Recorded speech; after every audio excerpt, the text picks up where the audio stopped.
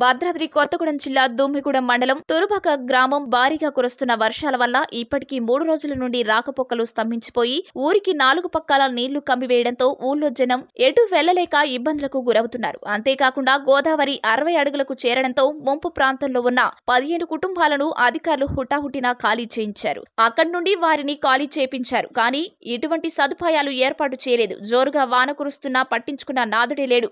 Revenue డిపార్ట్మెంట్ను అడిగితే పంచాయతీ మీద panchayat department వారు అడిగితే రెవెన్యూ మీద చెబుతున్నారు. కానీ ఇక్కడ ఎవరూ అందుబాటులో లేరు. దయచేసి అధికారులు ముంపుకు గురైన కుటుంబాలకు సహాయం అందించగలరు.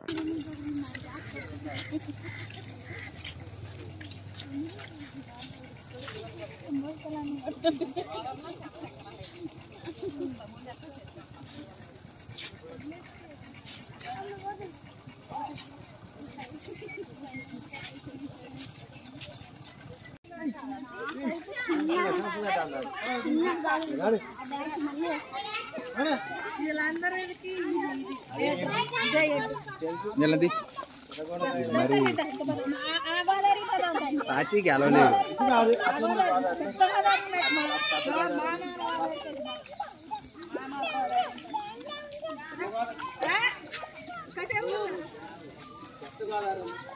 మీరు ఇంకొక అరడుగు పోకుండా లోనకి.